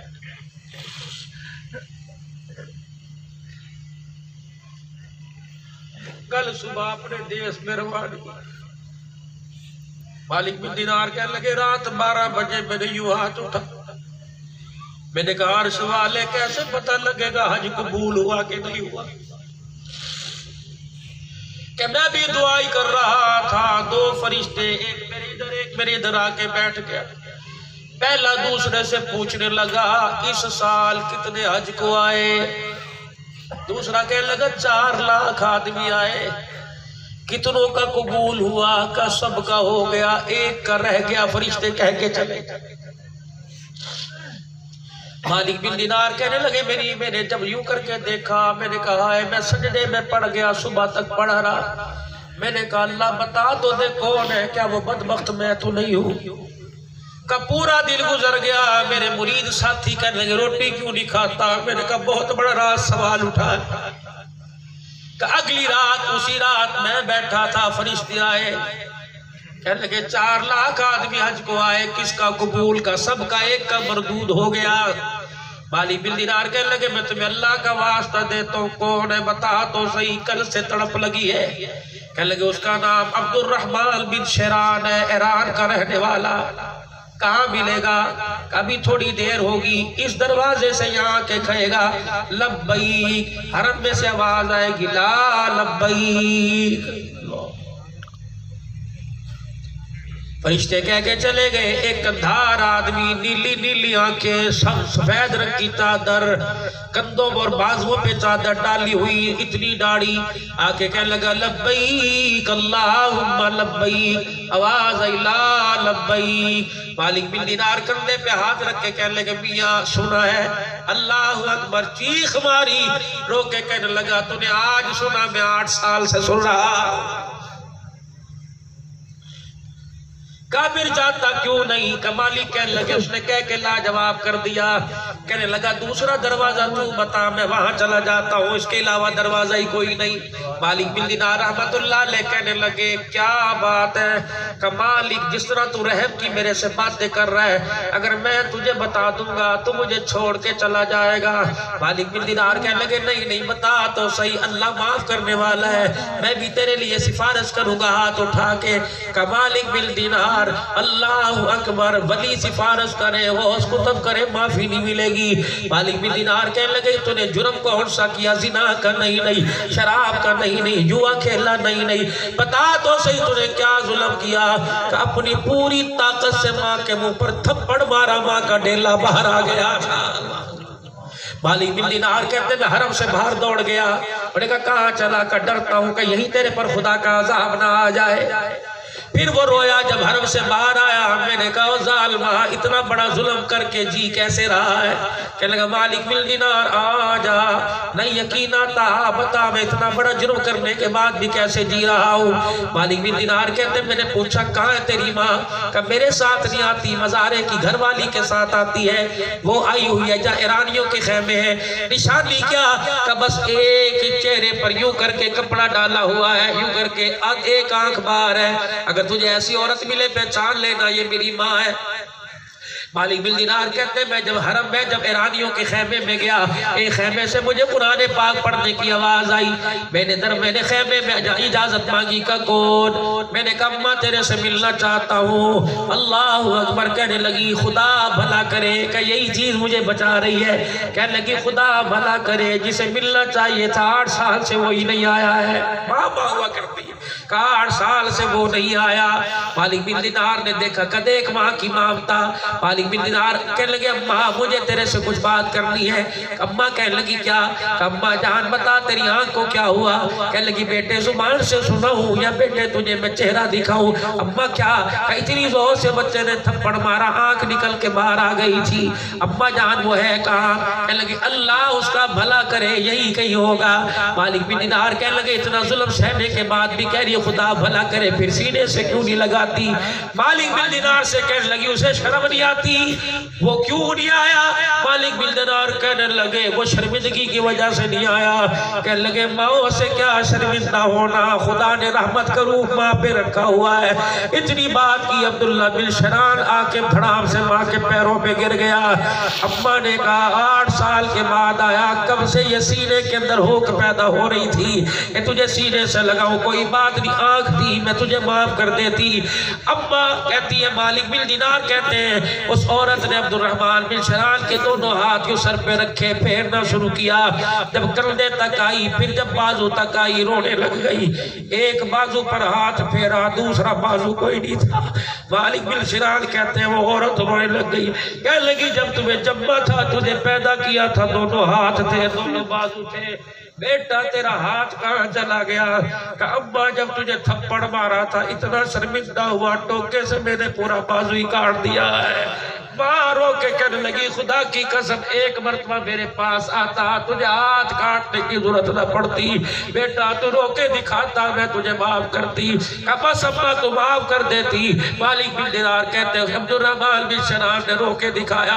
अम्मा ने उसका रोता चेहरा आसमान की तरफ़ करके कहा, या अल्लाह, इसके आंसुओं को देख, इसके आंसुओं में माँ ने अपने आँसू मिला दिए। अर्श वाला, मैंने माफ़ कर दिया, तू माफ़ कर दे। मालिक बिन दिनार कहते इतनी जोरदार आवाज़ आई, पूरा हरम गूंज उठा। फरमा है तो तू बदबख्त, तेरे लिए माँ ने रो के दिखाया जा, मैंने ये भी तेरा गुनाह माफ़ कर दिया अगली आवाज़ आई, जा माँ के रोने की बरकत से। तेरा ये हज भी कबूल हो गया, पिछले आठ साल के हज को भी कबूल फरमा लिया है। चल बच्चों को पाला था, एक माँ ने जतन से, वो चरपाई पे चार सतरे, कलमा शहादत और कलमे वाली चादर वालों, वो चरपाई पे चार सतरे उसके फ्रंट में पड़ा करो। चंद बच्चों को पाला था एक माँ ने जतन से ममता का सिला फिर भी जईफी में न पाई। हर चीज़ तकसीम हुई बाप के मरते, एक माँ थी जो हिस्से में किसी के न आई। वो जब उठा के डोली कब्रिस्तान ले गए तुमने वहाँ बड़े बड़े शेर कल में लिखवाए। एक शेर माँ का भी पढ़ा हुआ लिखा सुहा लिख दो, पढ़ा हुआ लिख दो, वो शेर क्या है? कहा में क्या जो तुरबत पे मेले रहेंगे? दूधो नहा पूतो पल अल्लाह अकबर, सात बाद रह रिज्क के ढेर लगे। हमें क्या जो तुरबत पे मेले रहेंगे? तहे खाक हम तो अकेले रहेंगे। कभी अब्बा, याद आए तो कब्रिस्तान फेरा मार लिया करो। अब्बा, याद आए तो कब्रिस्तान फेरा मार लिया करो। खुदाए पाक की कसम, आज सिर्फ़ ये मैसेज दे के जा रहा हूँ कि मावा, ठंडिया चावा गाड़ियों पे नहीं लिखना, अपने सीने पे लिखना, दो का फकीरों जाके घर कर लेना। अगर अब्बा अब्बा ज़िंदा है, दो काम कर लेना। पहला काम ये, जाके आज माँ के पैरों का बोसा दे लेना। दूसरा काम ये, जाके अपने बाप को कहना, मेरे लिए हाथ उठा के दुआ कर। हदीस पाक में आया, जब औलाद के लिए बाप हाथ उठा के रोने लग जाता है, अल्लाह जल्ला शानू फरमाता है, फरिश्तो रहमत वाली चादर से आँसू साफ़ कर दो। इस बूढ़े का रोना मेरे से बर्दाश्त नहीं हो रहा। जो मांग रहा है, इसको अता फरमा दो। यकीन जानो, इमाम शाफी रात को जब भी घर आया करते में यूँ करके चढ़ा लिया करते, तेल की प्याली हाथ में पकड़कर माँ के कमरे में चले जाया करते। वक़्त का इमाम जाके माँ के सर की मालिश करता। जब सर की मालिश करके फारिग होते, पैरों की तरफ़ जाते। अल्लाह अकबर जैसे कोई चली चीज़ को चाटता है। इमाम मान, इमाम शाफी माँ के पैरों की तलियों को ज़ुबान निकाल के चाटने लग जाते। माँ दाड़े मार मार के रोती और कहती, इसी ज़ुबान से कुरान सुना के आया, हदीस सुना के आया, पैरों को क्यों चाटता है? इमाम शाफी हदीस पढ़ के सुनाते अम्मा, अल्लाह के नबी ने फरमाया, जन्नत माँ के कदमों तले तुझे किसने कह दिया, मैं तेरे पैर चूम रहा हूँ, बल्कि मैं तो जन्नत के दरवाजे की चौकट को चूम रहा दिल ना दुखाना माँ बाप का, वरना खुदा की कसम, अमीर होके भी गरीब हो गए रईस होके भी गरीब हो गए हुजूर ने बशारत दी फरमाया, वो नौजवान जिसके माँ बाप मरते वक्त उससे राज़ी होके मर जाए, फरमाया, कयामत के दिन दुनिया मुझे तलाश करेगी, मैं फरमा बरदार औलाद को तलाश करता फिरूँगा। जहाँ नज़र आ गया, हाथ पकड़ के हौजे कौसर पे ले जाऊँगा, फिर जी भर के पिलाऊँगा, फिर जन्नत के दरवाजे की चौकट पार करवा के आऊँगा। सिर्फ़ माँ बाप को ही राज़ी नहीं करना, जिनके सदके से अल्लाह ने माँ बाप का तोहफा दिया जनाब मोहम्मद मुस्तफ़ा सल्लल्लाहु अलैहि वसल्लम। अल्लाह को राज़ी करना है। अल्लाह राज़ी कब होगा? अल्लाह के हुक्म पूरा करना। किस मौके पर, किस हाल में क्या अल्लाह का हुक्म है? नबी का तरीका देखना है कि नबी ने किस तरीके से अल्लाह के हुक्म को पूरा किया। कोशिश करेंगे इंशाअल्लाह ताला और अपने चेहरों को खुदा के वास्ते कब्र में जाने से पहले पहले आबाद करो। यार, अल्लाह की खशियत इलाही से जो आँसू निकला, ये जहाँ गिरा है, अब हुरैरा रज़ी अल्लाह ने कभी रुमाल से आँसू को साफ़ नहीं किया। किसी ने कहा मुरैरा कंधे पर इतनी बड़ी चादर होती है, आंसुओं को साफ़ क्यों नहीं करता? तो हुजूर सलाम से सुना था, तेरे चेहरे पर आँसू लगे, गिरे आँख से निकले, जहाँ जहाँ लगे मल लेना जहाँ जहाँ लग गया जहन्नम की आग हराम हो जाएगी। ये क्या आपकी यहाँ चेहरे पर नहीं गिरा? आज नियत करो हुजूर की सुन्नत को चेहरे पर सजाओ। बल्कि ज़्यादा है, वरना मैं दाढ़ी की अहमियत का आपको बतलाता, हुजूर की सुन्नत को चेहरे पर, अगर कामिल ईमान के साथ मरना चाहते हैं। नबी की सुन्नत को चेहरे पर सजाओ और पाँच वक्त की नमाज़, जहाँ अजान मिल जाए और पता लगे नमाज़ हो रही है, चले जाओ मस्जिद पर। तुमने अल्लाह के लिए नमाज़ को पढ़ना हाँ ऐसी जगह जहाँ अल्लाह की तोहीद में दराड़े पड़ती हो। साहबा पर उंगलियाँ उठती हो, ऐसी जगह नमाज़ पढ़ने की इजाज़त नहीं। वरना सारे मुसलमान आपस के अंदर भाई हैं। अल्लाह हमारा हामी नासिर हो। ज़िंदगी लगाते रहो, लगाते लगाते आखिरत के इंजाम तक पहुँच जाओ। अल्लाह हमारा हामी नासिर। अल्लाह इन बरदरान की, वालिद वालदा की मगफरत फरमाए। और मेरा कहना आपका सुनना हमें भी अमल की तोफीक दे। वाखिर ये रफ़ीक सफ़र है। अभी एक महीना इसे मेरे पास आए हुए हो। मैं इसे पहले तनख्वाह पर अल्लाह चलता है। अल्लाह। लेकिन इस एक महीने में मुझे भी साफ़ करा दी, दाढ़ी भी रख दी तहजद भी पढ़ लेता है, नमाज़ भी इसे नाद का शौक है। मैंने कहा, दो काम अल्लाह तेरे से करवाएगा। इसकी आवाज़ पर शेरों की बेतरतीबी से कुछ नहीं पता मैं क्या पढ़ता हूँ। बस गरीब सा साथी है, ये पढ़ के सुनाएगा। आप इसके लिए इन ताला हौसला अफजाई करो, दो तीन शेर पढ़ेगा। अल्लाह जजाय खैर